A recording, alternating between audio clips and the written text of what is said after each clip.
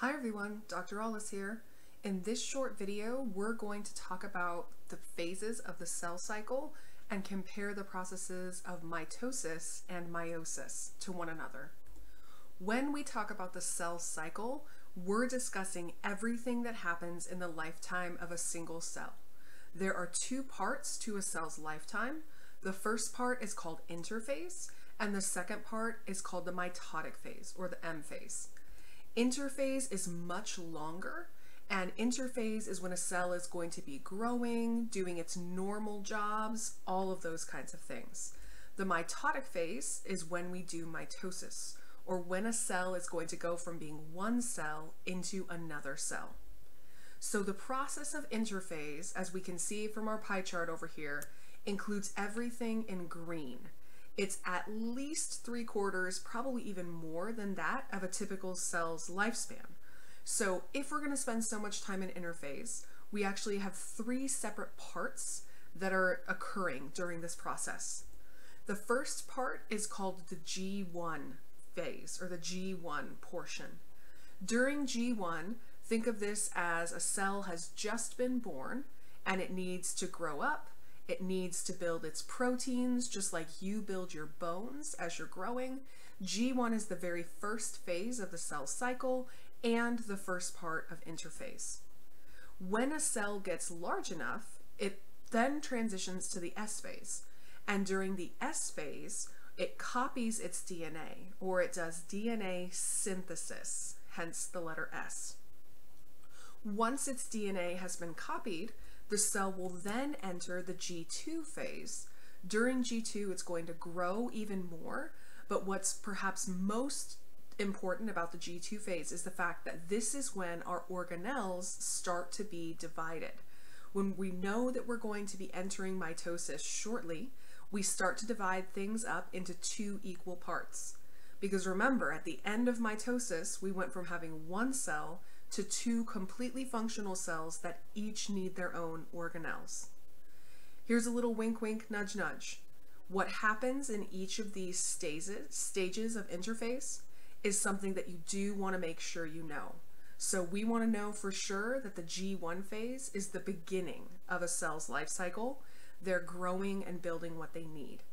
The DNA synthesis stage, copying our, our genetic information in the S phase, and splitting up those organelles, growing a lot more, that happens in that G2 phase.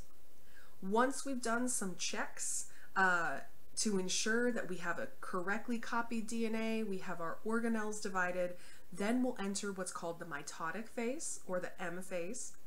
During the mitotic phase, two things happen. Thing number one is mitosis. And the process of mitosis, let's underline, highlight, star, is all about the DNA. So the four stages of mitosis, as we'll briefly review, the only thing that they're concerned with is what's happening with the genetic information. We don't just divide the genetic information of the cell though, we do also divide its cytoplasm. And remember that the cytoplasm is the soupy cytosol as well as the organelles. So while we're dividing our genetic information, while we're doing mitosis, we also start to do this process called cytokinesis. In cytokinesis, we divide up the cytoplasm. Ultimately, at the end of this M phase, where we divide up the DNA as well as the soupy stuff in the organelles, we've now made two new cells that are entering the G1 phase. So it's a circle of life, if you will. We start with growing, we copy our genetic information, we grow a little bit more, then we divide the genetic information and divide up the soup to make new cells. When you take the quiz and the exam, please know that for anatomy and physiology in lecture, we're not going to ask you to know exactly what happens in each of the phases of mitosis. You've studied this in other classes, so we're not going to ask you which phase do we condense our chromosomes? Which phase do we have the metaphase plate? I'm not going to ask you those things, but I do need you to have a general idea of what happens in this process. So in the process of mitosis, we have to take our genetic material that's normally very loose in a form called chromatin, and we have to turn it into something that's very compacted called chromosomes. So at the very beginning of the M phase, the first part of that mitotic phase, we build chromosomes, which are the compact X-shaped form of DNA. Once we've built the chromosomes, now we're going to have to get them to the middle of our cell so that we can equally divide them. To do that, we have to get rid of our nuclear envelope or the nuclear membrane. Once I get rid of that, my mitotic spindle proteins will pull those chromosomes to the center of the cell, but keep pulling even when they're there. This extra pulling causes the chromosomes to split in half, which equally divides them into the two new cells that are forming. And once I form these two new cells, I then do that extra process called cytokinesis. Remember that cytokinesis is when we close off the two cells from each other, their cytoplasm is divided. So often the very end of mitosis happens at the same time as the process of cytokinesis.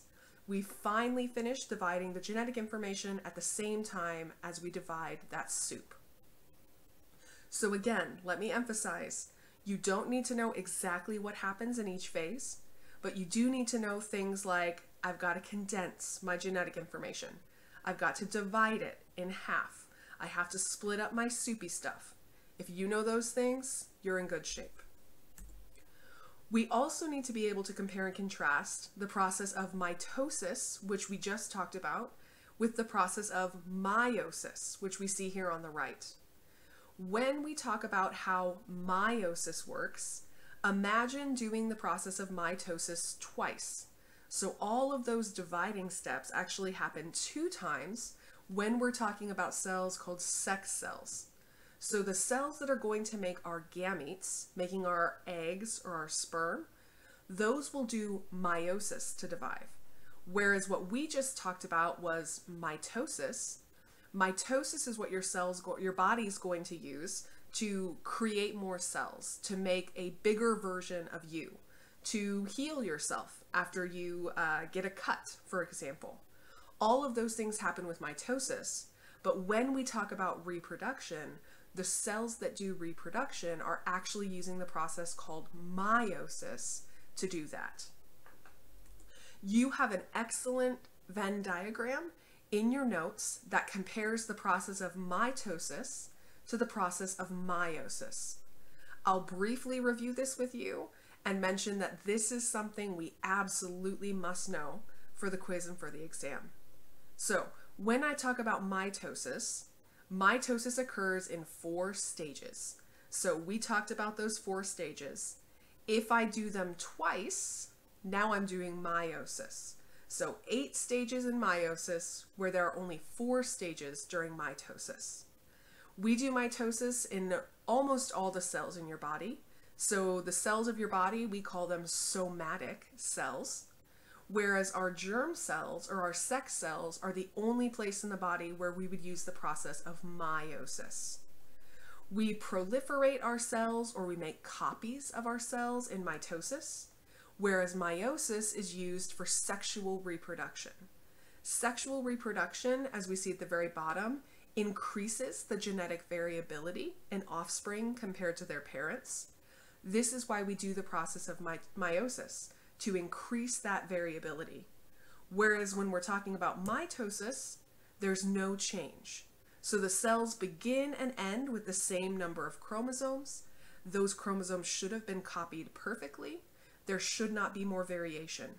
Whereas in meiosis, by the end of that process, we end up with less genetic information that we started with. We end up with what's called a haploid cell, and there are four of those haploid cells. Compared to mitosis, we only generate two cells, but the cells that we generate are called diploid, meaning they have all the genetic information that they need. Those are the primary differences between mitosis and meiosis. But notice when we look here at how they're the same, both of these are processes that make new cells. Meiosis makes more, mitosis makes less. They both follow those same processes of prophase, metaphase, anaphase, and telophase. But in meiosis, we do those each of those phases twice.